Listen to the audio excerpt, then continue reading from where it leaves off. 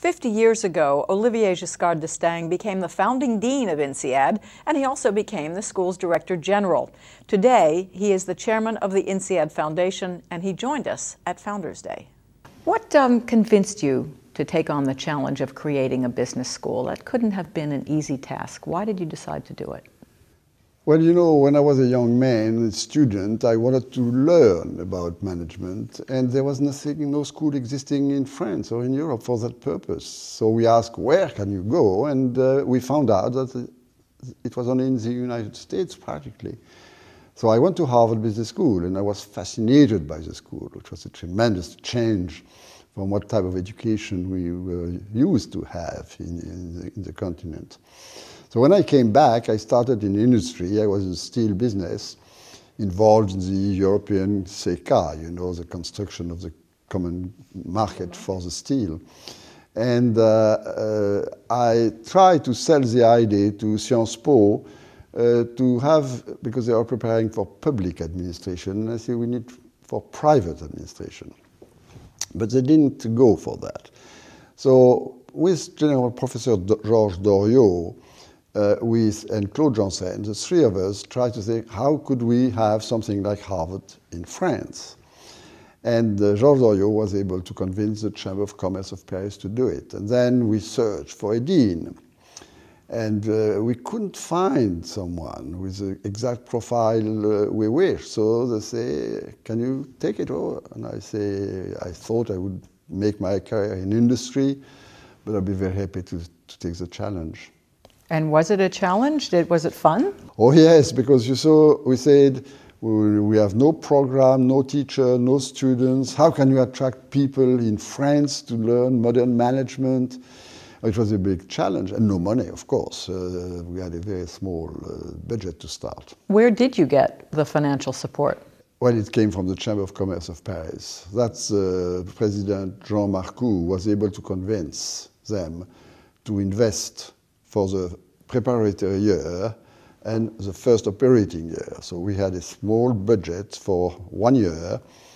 Uh, with the staff, there was uh, the ambassador Posthumus Meyjes, who was the first general manager, and I was next to him, and we had a secretary and an office at the Chamber of Commerce. And then we started traveling, going around and building the school and looking for professors and students, candidates. So we worked on that budget. And after that, the Chamber of Commerce said, uh, we will help you for the first year, but you need to find support from business. Because if the business community doesn't want it, there's no point to go ahead. So we start looking for that. So who were some of your first, and your early ones? The, was, the first one was uh, Pechiney with Mr. de Vitry, Saint-Gobain with Mr. de Vogüé, uh, nationalized banks, the French banks, and very quickly later, we had uh, IBM, McKinsey, and the foundation Ford, Ford Foundation, that came the, a little bit later. But we never ask any public fund from France or from any other country. We want to stand up on our own legs. And, and, so that's one of the ways that INSEAD was different from the very beginning. Yes. So, indeed. what are some of the other things that make INSEAD different then and today? Well, first, uh, we were pioneering in having a campus outside of Paris because most of the, all our grandes écoles, the French grandes écoles, had their school down in Paris, Rue Descartes for Polytechnique and HEC, all of them. So the Chamber of Commerce said we will use some of our classrooms in Paris. And I said, no, no, no, no, we need a campus. So they told me, find it. So we looked around and we found Fontainebleau and we thought it was an ideal place to be, but it was a very in, a, a new initiative for a French education uh, program. Then the, the method was very different because we had the case method and not the traditional ex cathedra courses. Then our professors were coming from business. And that was also innovating because uh, we wanted to be as close as business as possible no theory, practical approach to top management. Then the great novelty was the fact that we were fully international. We avoided any national domination of any sort, even French. we had three working languages, French, English, and German, and our participant and professors should be able to communicate in those three languages. Uh, we avoided to have more than one third of the students or the professors coming from one country. Uh, so the French was not at all dominant right at the beginning. We gave the image of being completely multinational, and that was very important, very innovative. Then, in many of our policies of, for instance, the selection of the candidates, uh, instead of having concours, you know, as it's usually the case, uh, we made it by interview, and uh, we tried to appraise not only the intellectual ability but also the character, integrity, leadership potential, ability to communicate with others, and so on. So it was a complex system of uh, selection, which was innovating as well. So those don't look so innovative now because there are many people who follow the models. But I can tell you 50 years ago, it was quite new.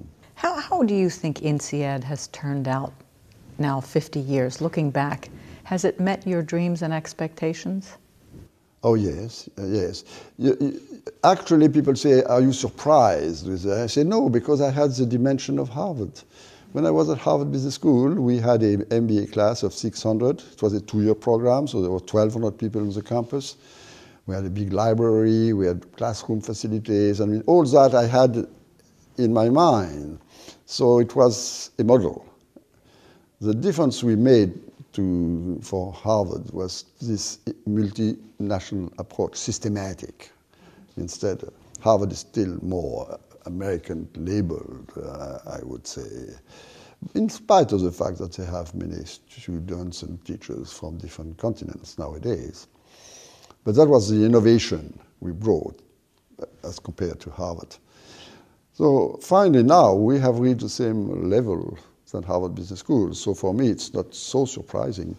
So uh, I didn't expect to have campus outside of Europe, actually. That's a new thing that I didn't think of. And I think it was a very important move. We supported strongly, of course, with the foundation.